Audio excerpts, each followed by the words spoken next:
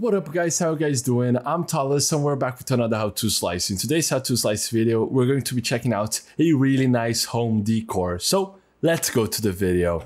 So this is a really beautiful lampshade and in this video, we're going to be checking out the best print settings to print this. So let's go. So as you can see, this is a multi-part model. Right here, we got the base, this is the lampshade and this is the lid. So we can just um, after we print, we can just assemble. So this is really nice. So let's go to the print settings.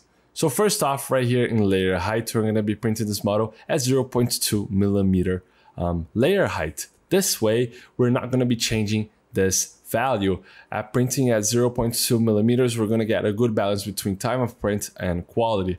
As for vertical shelves, we're going to be leaving at 3. This way, we're going to get a really rigid model. And as for infill, we're going to be increasing to 10% infill density. This is great with a gyroid infill pattern.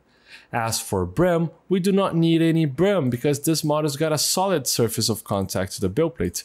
It's quite nice, the chances of your print unsticking from the build plate are really low. As for um, support material, this model is optimized for printing, so we do not need any support material at all. And as for speed, feel free to print with um, your standard print speed for your printer or a profile that you may like. But if you're going to print this model, print with, if you're going to change this, any of the speed, uh, lower down and reduce the speed. It's always better to print slow than trying to print really fast and it failing multiple times. So print one time really slow. This is fantastic. So this is a really nice model. Now we are ready to slice all of the models can be printed with the same print settings. If you're going to print this in a 220 by 220 millimeter um, build plate, um, you may not be able to fit all of the models, but feel free to print in different build plates so you can print in different colors. So let's say a base in black and a lampshade in white. So feel free to do so. So now we're going to be slicing. So as you can see, we have sliced and it looks quite nice. All of the layers being printed out right here. As you can see, this is a fantastic print.